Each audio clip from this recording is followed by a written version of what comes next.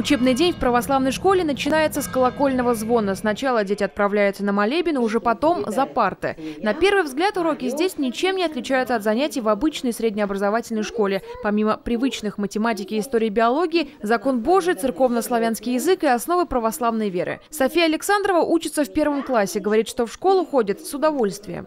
Мне в этой школе очень э, нравится учиться, потому что я тут встретила многих своих друзей.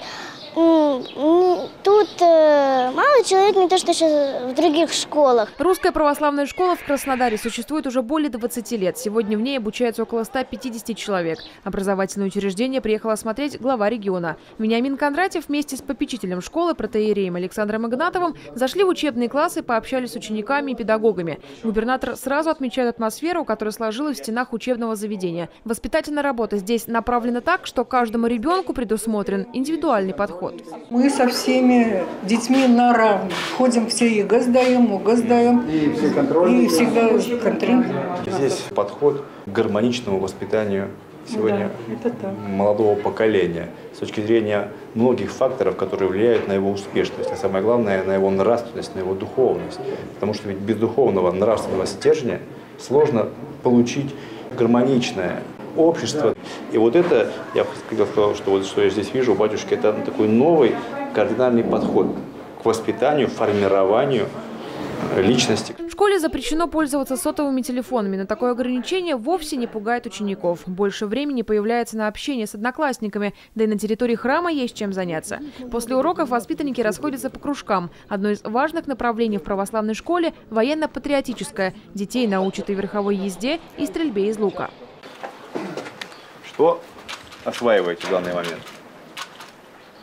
Ну, стрельбу из луков, так. Э, винтовок. из винтовок. Так. Ну что можете продемонстрировать? Ну-ка давай. Стрельбу из лука. Пожалуйста. Не торопись.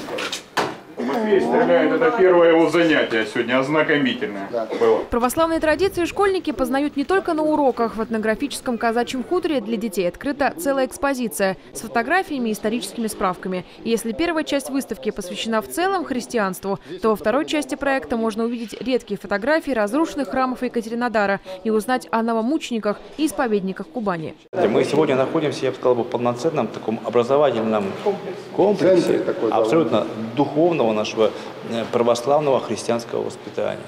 И это сегодня важно и необходимо. Вот таким образом не просто привели детей в храм, не просто рассказали им, и успел, не успел, все, следующая тема.